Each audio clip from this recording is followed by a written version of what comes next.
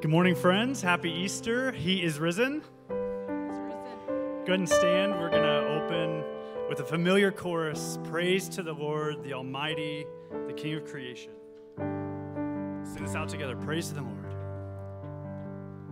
Praise to the Lord, the Almighty, the King of creation.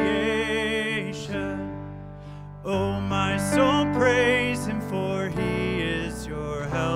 salvation.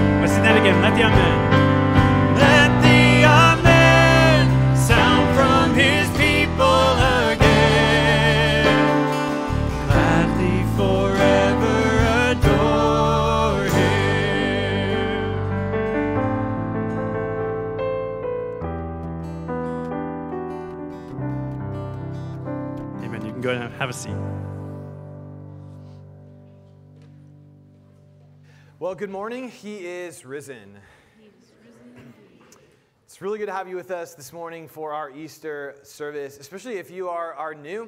Uh, we would love to connect with you beyond Sunday morning. There's a, a hello card uh, in the chair back in front of you. If you'd like for us to reach out to you and connect, uh, we would love to do that. You can fill out that hello card and you can drop it in the gifts and offering box or hand it to me on your way out uh, this morning. Um, also, in the chair backs in front of you, there are our prayer cards. We would love to, to pray for you if there's any way we can do that. Uh, whether this is your first time or you come every week, uh, we want to pray for you. Uh, so you can grab one of those cards, you can fill it out, again, drop it in the gifts and offering box, or you can hand that prayer card uh, to me as well on your, your way out. With that, I want to use uh, Psalm 118 as a way to draw our hearts that uh, we believe we are worshiping a risen Savior this morning, a God who is present to us and alive. and so Psalm 18 is a classic Easter psalm. So let me read this for us as we turn our attention to the risen Lord. Psalm 118 I shall not die, but I shall live and recount the deeds of the Lord. The stone that the builders rejected has become the cornerstone. This is the Lord's doing. It's marvelous in our eyes. This is the day that the Lord has made. So let us rejoice and be glad in it. Would you stand as we continue to sing?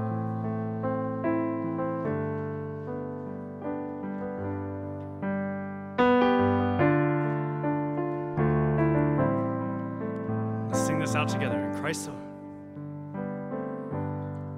In Christ alone, my hope is found. He is my light, my strength, my song.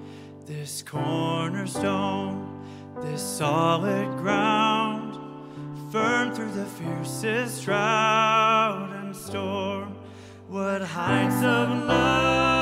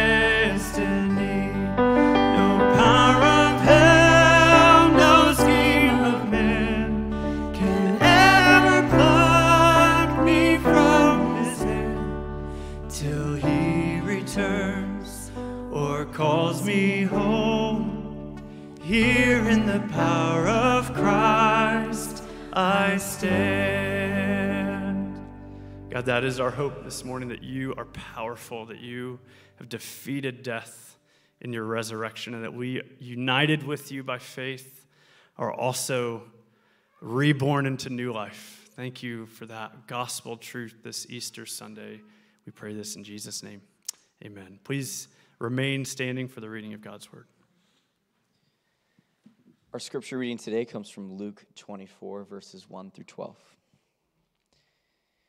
But on the first day of the week, at early dawn, they came to the tomb, bringing the spices which they had prepared. And they found the stone, the stone rolled away from the tomb, but when they entered, they did not find the body of the Lord Jesus. While they were perplexed about this, behold, two men suddenly stood near them in dazzling clothing. And as the women were terrified and bowed their faces to the ground, the men said to them, Why do you seek the living one among the dead? He is not here, but he is risen Remember how he spoke to you while he was still in Galilee, saying that the Son of Man must be delivered into the hands of sinful men and be crucified, and the third day rise again. And they remembered his words and returned from the tomb and reported all these things to the eleven and to all the rest. Now they were Mary Magdalene and Joanna and Mary, the mother of James. Also, the other women were with them, were telling these things to the apostles. But these words appeared to them as nonsense, and they would not believe them. But Peter got up and ran to the tomb, stooping and looking in. He saw the linen wrappings only, and went away to his home, marveling at what had happened. This is the word of the Lord. You may be seated.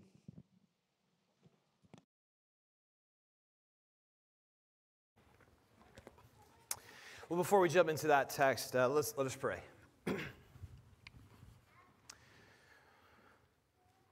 Father, as we open we open your word, we open it because we are confident that you, you want to speak to each person in this room. Uh, wherever they're at on the continuum of belief, whatever they think of the, the resurrection, claims of Jesus, God, wherever we are this morning, you, I know you want to speak to us. And so I pray, Spirit, would you do your work and speak? In Jesus' name, amen. Well, I'm a, person that is not capable of nuance. As everything for me is, is black and white. There is, there's very little gray. And that can be a, a blessing. It can also be a curse. You just ask my wife. So I was in Glacier National Park this past fall, and uh, I was excited to go because it's described as the hiker's park. There's incredible hikes all through Glacier. So I did lots of research, lots of study to so- decide what are the hikes I want to go on. And I get there and I get ready for my first hike. And unlike everyone else who just walks onto the trail and goes after it, I stop at the trailhead to read the sign, to read all that you're supposed to read before you go into the wilderness of Glacier. Because Glacier is one of the most remote national parks. And so the wildlife kind of run the show there, even more so than most national parks. So I stop to actually read the signs. And this is the, what the sign there reads. You are entering a wilderness area and must accept certain inherent dangers. That's why I'm here. Including snow and steep terrain, water, wildlife, there is no guarantee of your safety. It's like, listen, wherever I walk, I can't guarantee anyone their safety because of me. I keep reading on to the section about bears. Bears have injured and killed visitors and may attack without warning for no apparent reason. Thankfully, I had done my research, so I had my bear spray ready to go. I was like, I'm good. So I, I, go down to read the section on the bear spray, and the section on the bear spray says only use bear spray as a last resort. Bear spray may further provoke bears and invite further attack. Which is this? What are we like? Why do I even have this then? all that this can do is apparently make the bear angrier at me. So why do I have like why do I have this? And then I, I kept. This is an actual national parks sign. This is what it says about when it gives you the details about what happens if a bear attacks. If a bear attacks, again, an actual national park sign. If a bear attacks, fight a black bear. If a grizzly bear attacks you, play dead. If it starts to eat you, fight back. at this point, uh, as someone who has no nuance, I'm like, I, I'm pretty sure whoever wrote this sign, what they're actually saying is, Tim, you shouldn't be here. What are you doing here? Go back to Kansas and the suburbs where you belong. So I'm standing there at the, trailhead reading these signs, and past me, all these people are walking, they're laughing, they're giggling, they got their cute Patagonia fleece on, and it's like, do you understand what you're walking into? There are bears everywhere, and apparently they will attack you without warning for no reason, and your weapons are useless against them. What are you doing? And they have no idea because they don't read the signs. So that is what it's like to live life without nuance. As I actually read the signs, because you're supposed to. Easter for me is a day that comes with no nuance.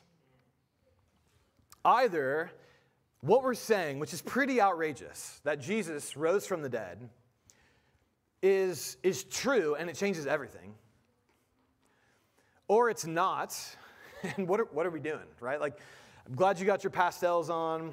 Joseph's rocking his suit for the one day this year that he's going to rock his rock his suit. I mean, we're out. We're going to go, you know, Easter egg hunting. Have some nice ham later. Like, like that. If if Jesus is not raised from the dead, enjoy your day. Live it up while you can before the bears get you. Or it's this happened. So I want to I want to invite you actually to, to have a, an Easter service without nuance. That either Jesus has rose from the dead, and it, it's the most important thing about you. Like whatever you walked into, thinking, wrestling through, the questions you have, the frustrations that, that are marking your life, those are less important if Jesus is raised from the dead than the fact that Jesus has been raised from the dead. Or it's, it's not true. So I, but don't live in that middle ground. I don't want to I don't want to have an Easter service where we live in the, oh, isn't this nice? No, no, no, no. Either Jesus is alive and he's loose in the world, or he's not. So, what I want to do, I want to just invite you to do what I did, which is stand and actually read the sign before you go on onto the hike. And that sign, you know, there was two promises, to, or two, two words to that, that sign at the, the trailhead. There's a warning and there was a promise. So it's the warning of Easter and the promise of Easter. First, the, the warning. And again, I just want to say, I, like, I am fully cognizant of the fact, and, and I hope you are too, that we're, like, we're all just standing up here claiming that Jesus, that a human being died and is alive somewhere. Like, it's a pretty outrageous thing because I, I, don't know of any other human beings that I would say that about. That, that that's not a believable statement. And, and so I, we just need to enter into just our minds for a minute, not, not just to skip past that, but to actually think about that. And I, I just want to say if, if you're a Christian and you believe in the resurrection, or if you're, you don't yet, I just want to say it's, it is actually intellectually credible to believe that Jesus rose from the dead. You can actually like have your brain fully functioning and believe the best uh, read of what happened 2,000 years ago is that Jesus Christ was resurrected from the dead. I want to give you two reasons out of this text. The first is that as you read this story, the disciples are not depicted as the heroes. See, what a lot of people would say is listen, the, the early church, they made up the resurrection. It's not real. Uh, you know, the, it's, it's a made up story. Jesus died, they, you know, the disciples felt bad, and they, they kind of, sort of concocted a story to, to make themselves feel better, that Jesus lived in their hearts, or whatever. And I just say, like, if this is the story you're going to make up, that, that doesn't make much sense to me. I mean, we're, we're, last week we entered into the fact Peter denied Jesus three times. Like, why would you tell that about yourself if you were making up a story that you, as the, the sort of lead apostle, was a denier of Jesus. But even more than that, the disciples themselves are depicted as unbelieving, obstinate doubters, while women are, are depicted as the ones who actually get it. That's important because in this day, women were seen as, as second class citizens. They weren't, their witness was not even accepted in court. And yet, what we read in Luke 24 is that the first people to witness the resurrection and believe in it are women.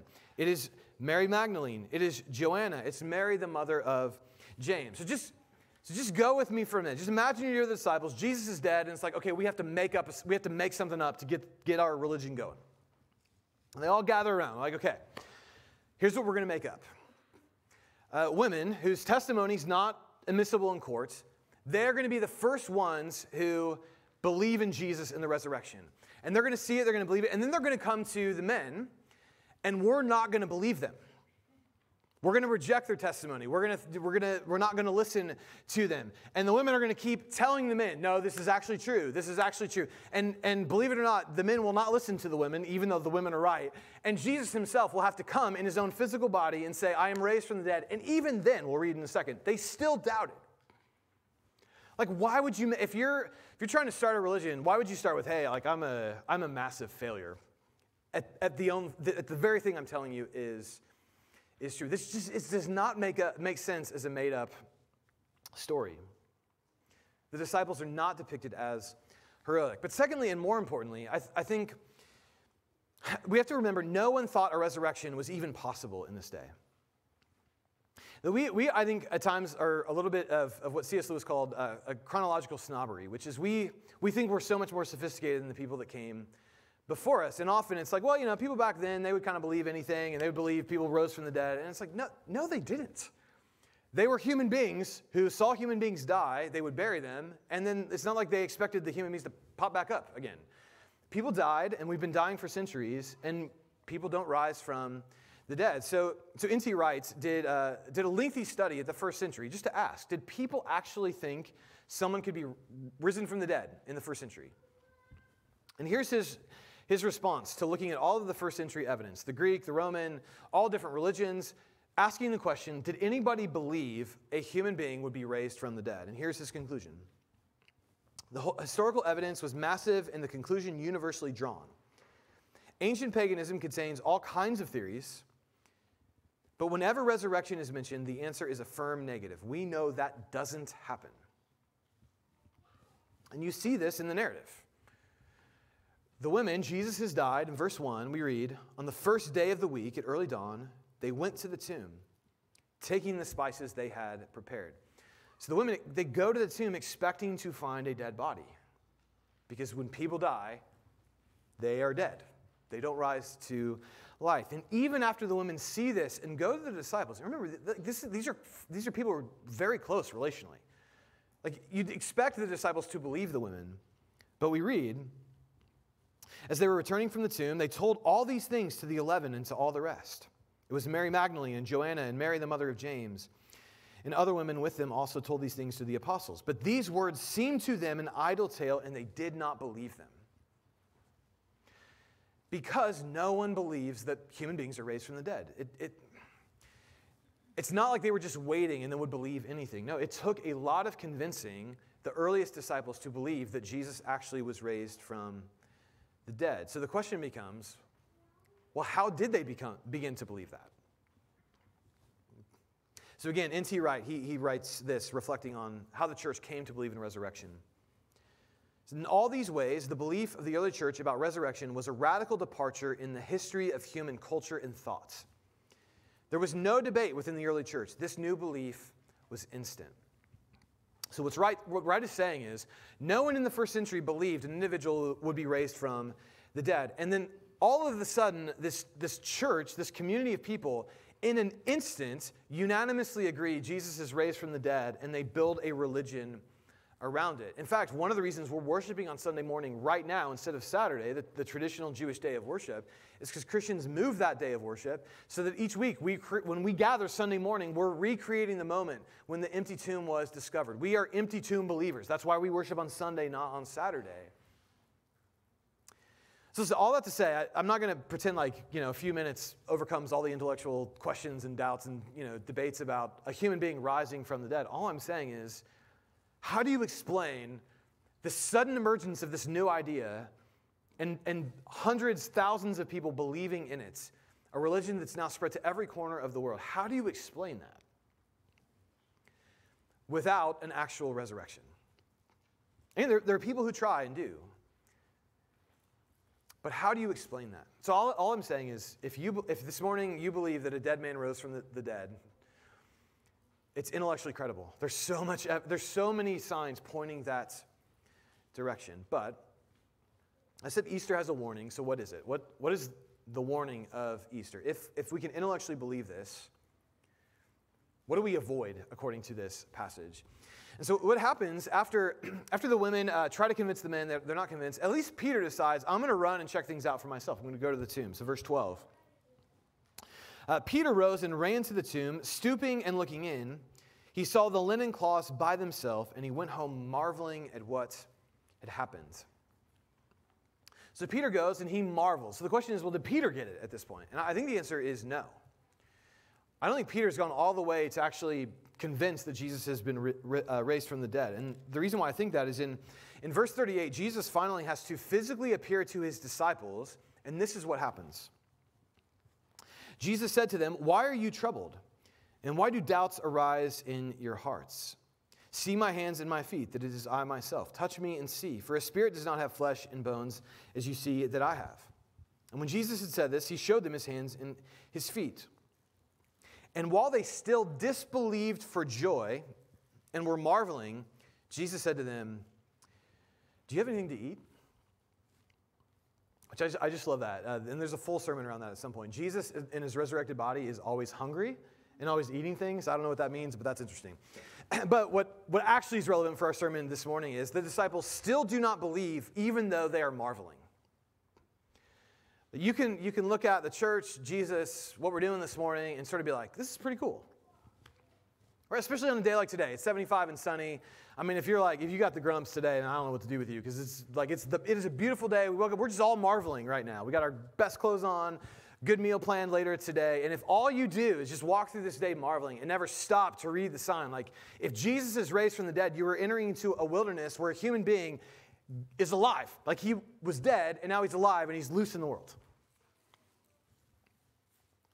The warning of Easter is you cannot stop at marveling. Do not stop at marveling. It's not enough. So, what are we to do? And the answer is given by the angel to the women at the tomb. As they were frightened and bowed their faces to the ground, the men, the angel, said to them, Why do you seek the living among the dead? He is not here, but has risen. Remember how he told you while he was still in Galilee that the Son of Man must be delivered into the handful or into the sins of hand, the hands of sinful men and be crucified and on the third day rise. And they remembered his words. The angels say to the women, Remember what Jesus said. So we're not to stop at marveling, we're to move into remembering what Jesus said. So, what did Jesus say? What is, what is the promise to Easter? What are the words of Him we are to, to remember? So, what does Easter promise then? If we're to remember Jesus' words, and in those words are, is a promise, what is the promise of Easter? And and I want to go back to the very first sermon of Jesus in the Gospel of Luke. It's Luke chapter 4. Jesus is in his hometown. He's giving his very first sermon. And so he's basically laying out, like, this is who I am. This is who I claim to be. And he quotes from Isaiah 61, and he reads uh, that text and says, This is me. Jesus says, The Spirit of the Lord is on me because he's anointed me to proclaim good news to the poor. He has sent me to proclaim freedom for the prisoners. Jesus has good news for the poor and freedom for prisoners. But the promise of Easter to me ultimately is the freedom Jesus promised back in Luke 4 freedom. So, what freedom does Easter give us? Well, first is freedom from guilt and shame. Uh, one of my other favorite places in the world to go is, is Costco. This is Glacier National Park, Costco. Uh, and the reason is because I can go to Costco and feed and clothe and provide for my family of six and just go to this one place. Or like I try to imagine what it would have been like to live in Kansas in the prairie like 200 years ago. Like what it would have, like how hard it would have been to feed and provide for my family in the wilderness and in the, on the prairie. Now I just go to, I just go to Costco. Um, and when I go to Costco, uh, obviously I load my cart up pretty, like I got six, we got six people, so there's a lot of stuff in the cart. But one of the things, again, as a no nuance person, uh, one of the things that's always just confused me about uh, Costco is the receipt person at the door. So I'm wheeling up there, I got a cart full of stuff, and I hand them the receipt, and they like, they just give a quick glance, they check it off, and then I move on. And I'm just like, there's no way no way. You just went through that receipt in a thorough fashion and made sure that everything in that cart matches the receipt. There's zero chance that just happened. And for whatever reason, that's always bothered me. Um, but what's happening is ultimately is, hey, all of that stuff, whether you paid for it or not, it's, it's paid for. You may go free. And one of the central messages of the resurrection from 1 Corinthians 15 is that if you believe in Christ, his resurrection means you are free from guilt and shame. Paul says in 1 Corinthians 15 17, if Christ has not been raised, your faith is futile and you are still in your sins. But Christ has been raised, which means you are not in your sins any longer. Because all of us, listen, all of us, we have a receipt of things we think when we get near to God, He's going to have to look through that. Right? Things we're guilty of past memories that, if they're recounted to us, bring us great, great shame, deep regrets we have. And, and we, th- there's no way, right? If you get to, the, if you get to, the, get to God, He's not going to look that receipt over and be like, nah, you got to go back.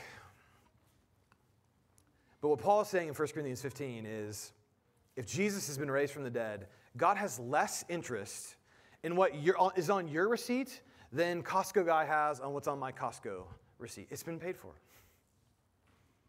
you are free. If Christ has been raised from the dead, you are free from guilt and shame. Just let that, let that sink in. Everything that you feel guilty over, everything that, that has kept you up at night, everything that you think would disqualify you from the presence of God, God is less interested in those things than the person at Costco checking your receipt. Because Jesus when he went to the cross, he took on your guilt and shame. Then he died, and, and, your guilt and shame was buried with him in the grave. And when he raised from the dead into new life, he did not raise with all of our guilt and shame. He raised in freedom to free us from those things so that we can sing with the ancient hymn Well may the accuser roar of ills that I have done. I know them all, and thousands more. But God, he knows not one. If Christ has been raised, you are not you are free from guilt and shame. You're also free from the fear of death. And one of my tasks as a pastor is to, to do funerals, to meet with grieving families. And um, that's always a sacred moment when you're with a family after someone has just died. And almost inevitably, something always happens as you're gathering with that family laughter. At some point, you push past the tears, the mourning, the deep grief, and you start laughing about the person that has been lost. It's a, it's a sacred moment. And, and in that moment, you feel for a moment that the person's back with you.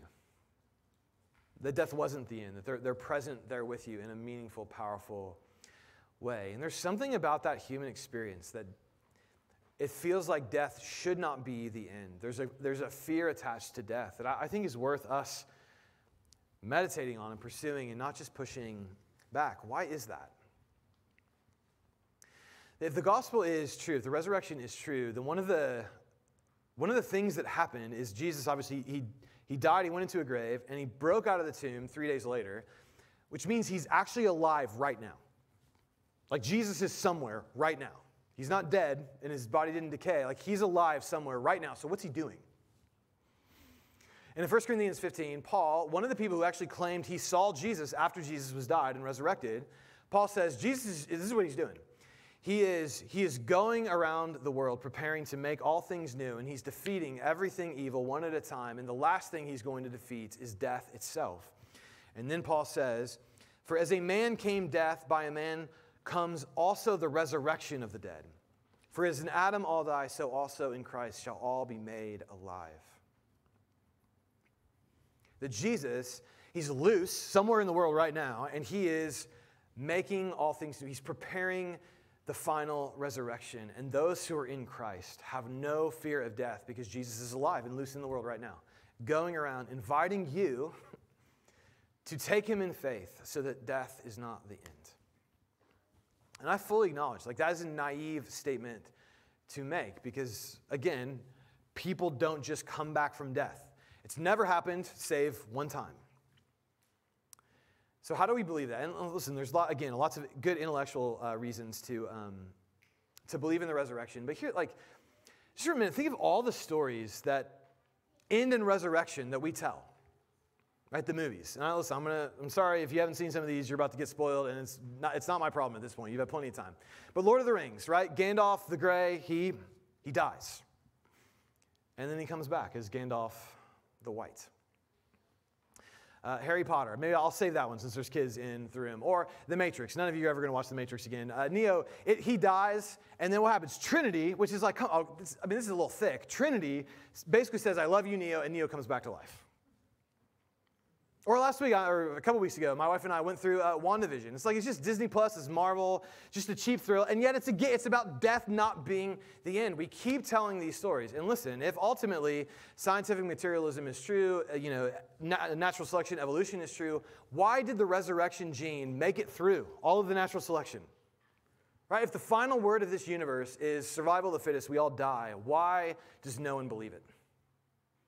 Why do we laugh when we talk about people we've lost? Why does even WandaVision have a story of resurrection in it? Because we, in our hearts, know there's someone loose in the world right now who's putting it into death. And if you believe in him, you can be free from the fear of death. But the last thing I want to I wanna say to you this Easter about what the promise of Easter means is that, that Jesus is seeking you. The reason Jesus died in the grave and came out three days later was not to be like, you know, ta-da, like magic trick. It, it, is, it is to find you and your, your bondage, your broken life, what, what weighs you down, and to free you. He's looking for you. So my guess is at this point, y'all, we, got, we all got two questions, which is, Tim, did you walk past that sign and go on the hike into bear country? And did you see a bear? yes and yes. I was in Glacier uh, because I, I, try to take a year each, each or a week each year to go and, and pray. And, and 2020 required some drastic intervention, like driving to Montana by myself and going where bears could, you know, eat me. Um, and so I, I, was there and um, to, to, pray and to see God and really just, just kind of unravel what, what was a, a traumatic, intense, frustrating, disappointing year with lots of relational loss, spiritual loss, emotional. I mean, just it was a heavy year for all of us. I'm sure in your own way, 2020 brought incredible hardship and, and new realities to you. And so I'm there, and, uh, and one of the hikes I chose to go on was the, the uh, it's called Siyeh Pass, which is incredible. If you're ever there, you should, you should do this. Um, although, interesting side note, I, I, learned after the fact, they really tell you do not go on this hike alone, because this is one of the places where bears frequent most, which I didn't know. That's hence the signs, I guess. But, uh, but I went in, and, and as, as I'm on the hike, um, I see at a pretty safe distance a grizzly bear in, in the wild, just taking a swim in a pond. I just, I just pause in that moment and, and sat down. You know, there are enough people on the trail, I, I felt like I could outrun um, if the bear turned and came after us. So I was good. So I sat down and I just, I just watched him. And I could just listen. If you're comfortable, if you're a little charismatic, you just, I, could, I just had an experience with, with God in that moment. Where the first thing, this, is, this sounds weird, but since God just saying, look, isn't that bear awesome? Which just, it was, it was true. And then we just, I just worked through so much of the last few months of what, what I had gone through. And, and just felt God's presence there. And like for some of you, 2020, man, it brought stuff. And none of it mattered in that moment present to God, present to myself, present to His world, all of it was irrelevant. And ultimately, what the resurrection means is you all, listen, you, didn't have, you don't have the stuff from 2020 I've got, but you've got your stuff. That weighs you down, that wears you out, that makes you wonder, is this world good? Right? Am I, am I at this alone? Is this end just in suffering and, and pain? And what, what Easter Sunday announces to you and me is is Jesus is alive and loose in the world, and he's looking for you. And he wants to find you, and he wants to break you free of whatever it is that's, that's got you, that's holding you back. It's the whole reason he rose from the dead. And so, yes, this, this world is deeply flawed and broken. There's a lot of reasons not to believe in a resurrection when you look around the world among us.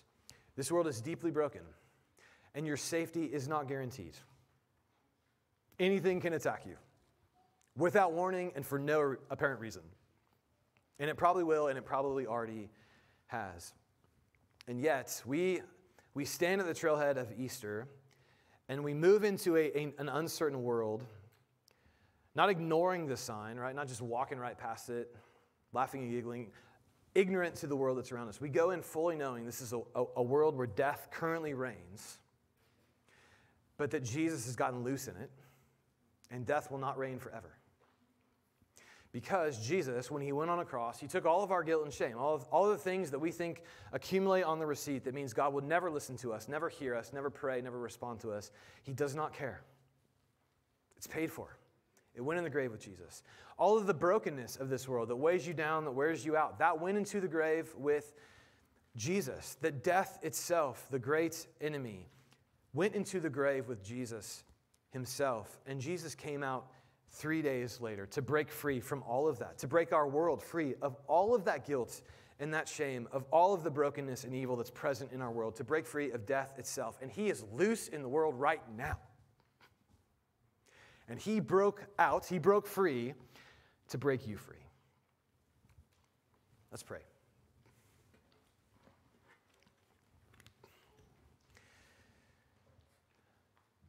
Father, we gather because we announce that Jesus is not dead, but is alive. And every one of us in this room needs that for different reasons. Every one of us in this room needs it. But every one of us in this room have so many reasons not to believe it, to not welcome it, to not hear it. And to not, when Jesus, you, you come up alongside us and make yourself known to us, to not, to not release and let you speak. So, God, we, we need to meet with the present, living, raised Jesus from the dead. And I pray, Jesus, by your Spirit, go to work on us. Amen.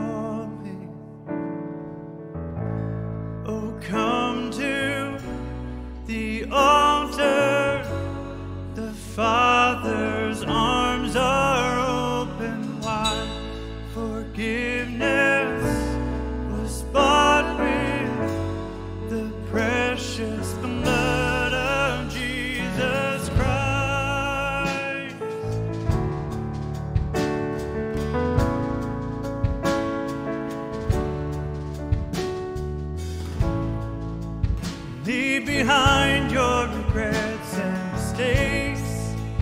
Come today, there's no reason to wait. Jesus is calling.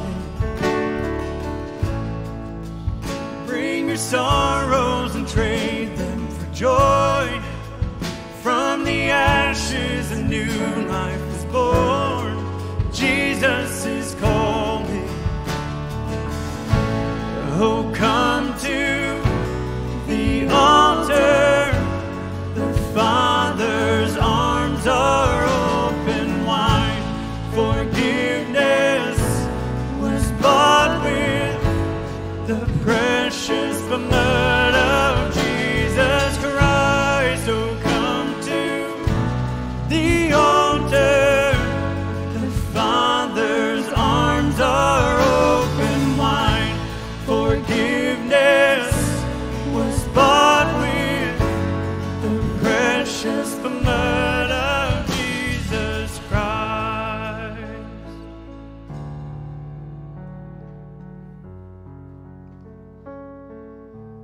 go now into our time of communion.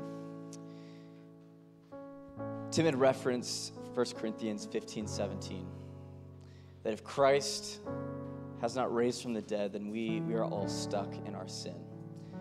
And when we come to these elements, a lot of times we think about forgiveness of sin being connected to Jesus' death. But if that's all that happened was Jesus died, then, then we're in no better of a place. That, that we needed Jesus to raise from the dead, to defeat death. And so, as we come to the table, as we come to this meal together, it's in light of not only his death, but also his resurrection. And so, if you uh, have not grabbed one of these cups yet, uh, go ahead and go to the back. You can grab one, or there may be one in front of you in your seat. And we'll go ahead and stand now. And before we have this meal together, uh, we will confess the Apostles' Creed.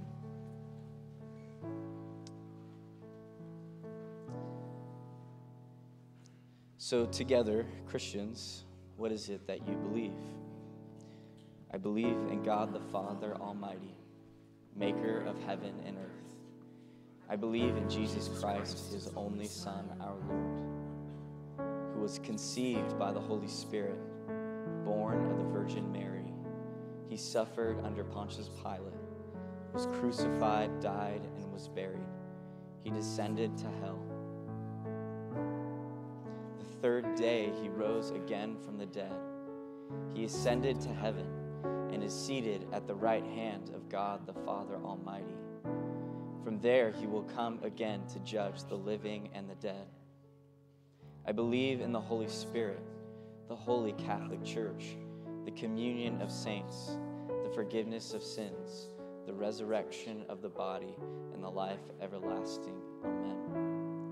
If you're able to confess that, then this meal is for you. And if you have questions about that or, or don't believe that yet and want to, come talk to Tim or me or Andrew uh, after the service. And so on the night of Jesus' betrayal, he took bread and he broke it. And he handed it to his disciples and he said, This is my body, broken for you. Take and eat.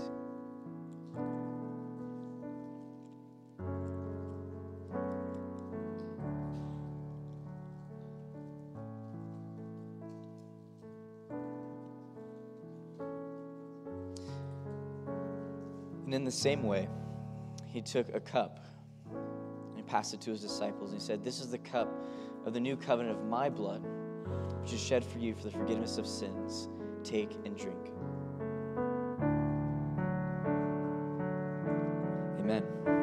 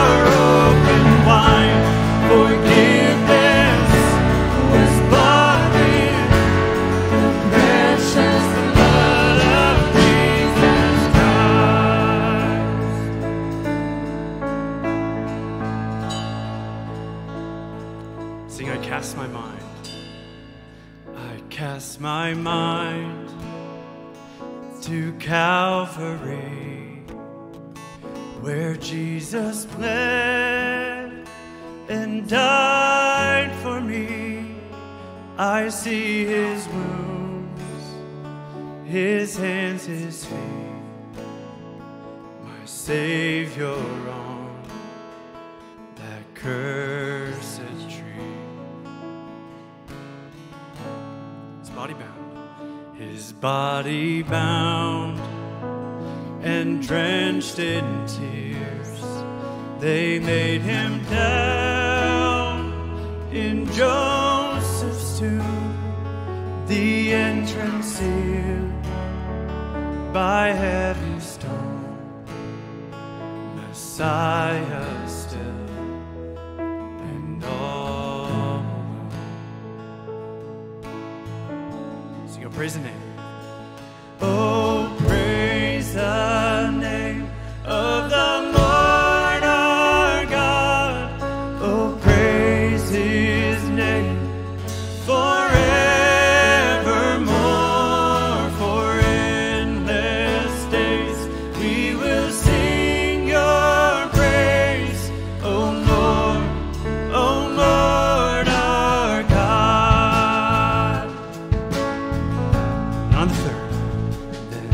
the third at break of dawn, the Son of Heaven arose again. Oh, trample.